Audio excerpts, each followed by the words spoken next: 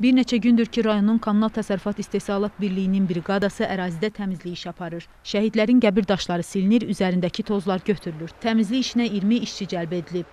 Rayonumuzun xidmət sahəsini icra edən təşkilatlar tərəfindən məzarlar təmizlənir, ağaclar ağaldırılır və ərazidə e, təmizlənmə işləri aparılır. 20 yanvar günü şəhid ailələri ilə birlikdə rayon sakinləri şəhərlərimizi çox böyük izdihamla ziyarət etməyə hazırlaşır. Yaşıllıq zolaqları genişləndirilib, gül kolları əkilib. Xiyabanın girişindən başlayaraq xiyaban boyunca ağ və qırmızı qərənfillərdən ibarət kompozisiya hazırlanacaq. Şamaxıda yerləşən Şəhidlər Xiyabanı 93 şəhidin xatirəsinə hörmət əlaməti olaraq ucaldılıb. Bütün şəhidlərin adı bu abidədə qeyd olunub. Ümumilikdə isə 27 şəhid bu xiyabanda uyur. Qeyd edək ki, Şamaxı Şəhidlər Xiyabanının yerləşdiyi ərazi sürüşməyə məruz qalmış və Şəhidlər Xiyabanı müvəqqəti olaraq bağlanmışdı.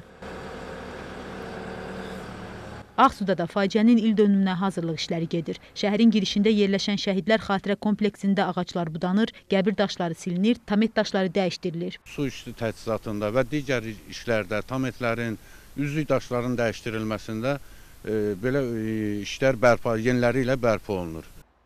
Bundan əlavə kompleksi işıqlandıran elektrik lampaları yenisi ilə əvəzlənib. Bəzi naqillər dəyişdirilib. İşlər yanvar ayının 19-na qədər başa çatacaq. Pərvanə Mustafayeva, Rəşad Aydın, Rahim İzzətoğlu, Şamaxı, Ağsu.